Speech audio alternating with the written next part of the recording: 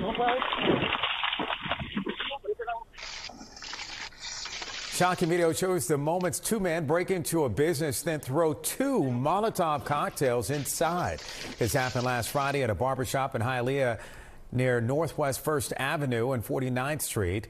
Officials say that Miguel Reyes Jr. has been taken into custody and they are searching for the second man, Alberto Gonzalez. There were no reported injuries, but at least eight employees are now without a job.